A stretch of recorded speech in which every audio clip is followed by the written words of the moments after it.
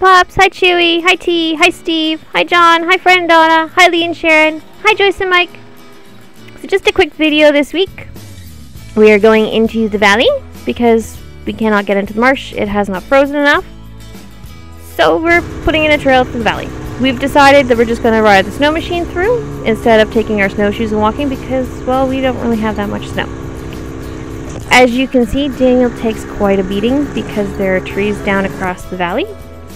They're down because there was a lot of wet snow early in December and they never bounced back. We do go through later with the chainsaw and cut them down so they stop hitting us in the face. Um, but we still have more work to do in the valley with cutting down the small sticks and everything. But that's a project for another day. We're trying to pace ourselves one thing at a time. Today, we're just trying to put in the val- or the trail into the valley. It does get done. We do have more work to be done in there, but it's it's a pretty good little trail. I went through it today. I got a little bit lost because, well, not really lost, but confused because I got a lot of sticks in there that we haven't trimmed out. makes that first turn a little hard to see. But all in all, it's a nice little trail. We will get it through there, do more passes, and put it in nice and firm, and it'll be good. Lots of fun. This is now, we're going up Pops' Rock.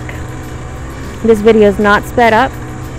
Normally, well, if the machine's running good, this is fun, and lots of fun. If it's not running well, this is very, very difficult to do. So we just kind of wanted to show it off when it was going really well. So that's what we have been up to over the past few days. Thanks for watching. Stay safe out there. Thank you again for all of your support.